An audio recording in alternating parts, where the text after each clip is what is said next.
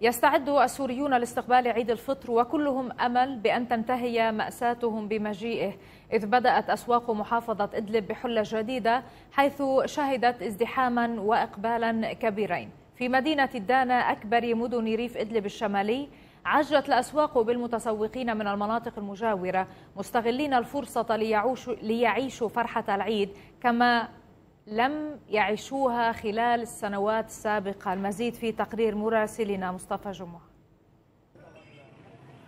مزدحمة على غير عادتها تعجب الناس القادمين من المناطق المجاورة للمدينة.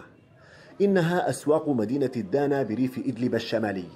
تتدفق إليها الأسر لابتياع حاجياتها من ألبسة وحلوى وألعاب استعدادا لاستقبال عيد الفطر. كل بحسب قدرته المادية.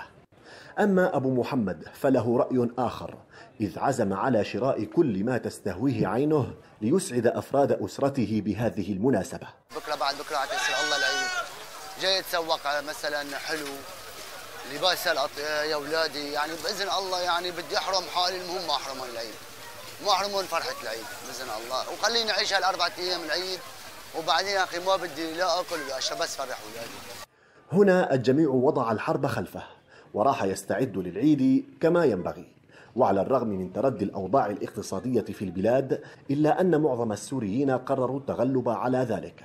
فمحال الألبسة والحلوى تعج بالمتسوقين من شتى المناطق. هذا الشيء ما منعنا من إننا نعيش أجواء رمضانية ونعيش أجواء العيد؟